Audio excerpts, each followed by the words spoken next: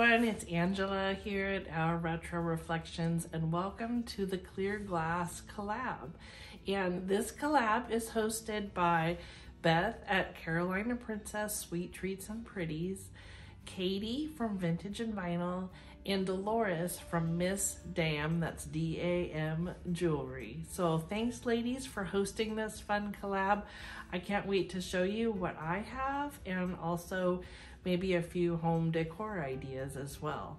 So if you're new to our channel, um, my husband and I do this kind of on the side. Um, this is actually my full-time job now, both as an Etsy seller, vintage Etsy seller, and I also enjoy doing YouTube videos. My husband has another job, but he does get to come along with me while we thrift. So a lot of the videos are of he and I on our thrifting adventures. I do thrift hauls and then I also show some home decor ideas. So welcome again to our channel. I hope you would be willing to subscribe and also like and give a comment too.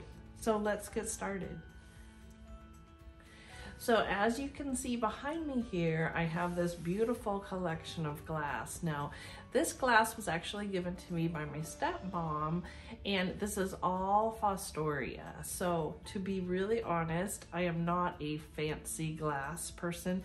I do like colored glass. I do like some depression glass, but clear glass has been a little bit of a challenge for me because we have a more casual house. So what I'd like to do is show you how you can take this fancy glass and make it maybe a little bit more casual or take some of the pieces that you may have inherited and mean a lot to you, but incorporate them in your home decor if you have a more casual home like me. So first of all, I'm going to talk to you about some of the pieces that I have, and then I will go into some of the, the decoration ideas. So my stepmom actually gave me these books on Fostoria when she gave me the other pieces and it is extremely helpful when finding different patterns. Um, but they list all of the Fostoria patterns in here and then they have the pictures in the back. They have um, the collection, the collector books. It shows you a lot of the different patterns here. So this has been really helpful and also to know what some of the pieces even are or what they're supposed to be used for because we just don't always have formal dinners anymore.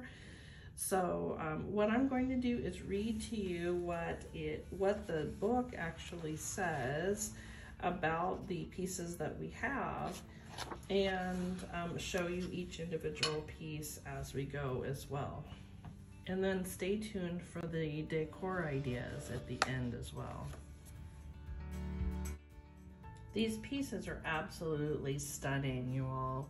So uh, the pieces that we have are called Navarre. So it's the Navarre Fostoria pattern. And this is what the book actually says about it. From first to last, formerly designed Navarre is without question Fostoria's most successful etched pattern. Designed by Edgar Bottome, Navarre illustrated detailed handwork involved in producing the same design on different sized items at a time when photographic reduction and enlargement were not yet used. Wow. Slightly diverse details of the etching on various size items illustrate the complexity of the plate etching work. Artistry was achieved, uh, sorry, artistry so achieved demonstrates the willingness of the Fostoria Company to extend designs beyond the concerns of cost. It is said to be a classic example of good design. High praise from John Saffell, himself a former design director at Fostoria. In 1977, the Pickard China Company and Fostoria advised a companion dinnerware line. The late nostalgia program production extended the line to include new items.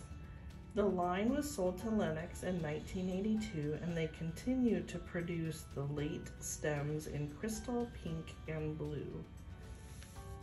These are obviously the crystal patterns. Okay, so here are a few ideas on decorating with the clear glass. Um, I'm going to start out with this small dish here. And then take a more modern piece, like this candle is just from Bath, Bath and Body Works.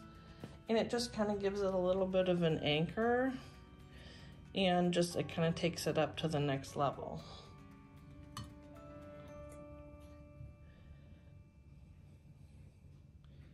Using that same dish, I'm going to take this little kind of a bell jar that I used in one of our recent collabs with uh, Carol at My Blessed Nest and I could place that on there. I have this little vintage Napco angel for January. Now how cute is that?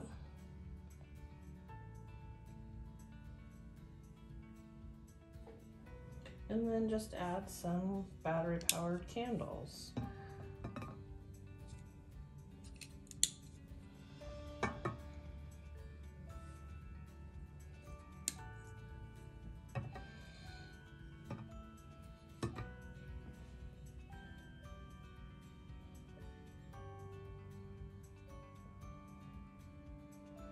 The smaller plates are also great just to add a few of the little knickknacks that you might have.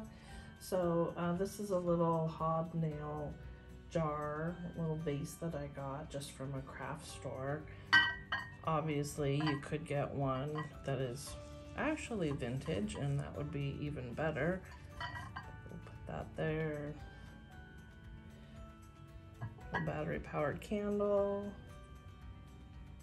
And then I have this little Coalport deer that was my husband's.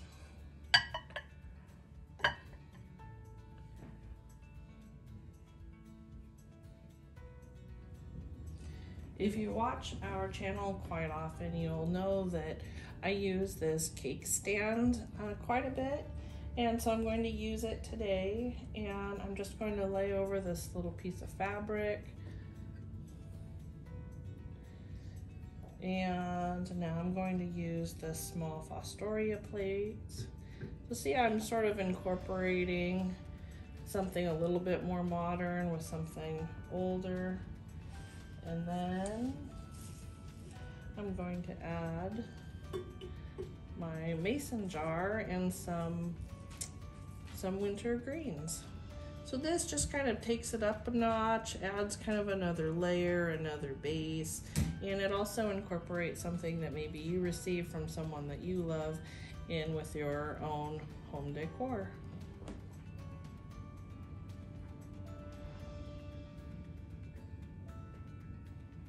Okay, this is truly the centerpiece that I have had on our dining room table here. Um, so I have that um, runner. And then I have this long tray that I got at a craft store. And this worked really well for Christmas too. It's just kind of the perfect size for our oval table. And then my mother-in-law got us this great uh, vase or lantern or whatever you want it to be for Christmas. So I'm going to add that there. And then I have my candlesticks that my mom gave me. Now these were believed from her mother. I don't know how well you can see those.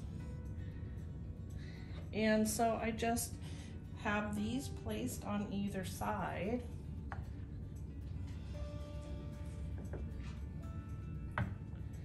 And now I will add a few little things and see what the final product looks like.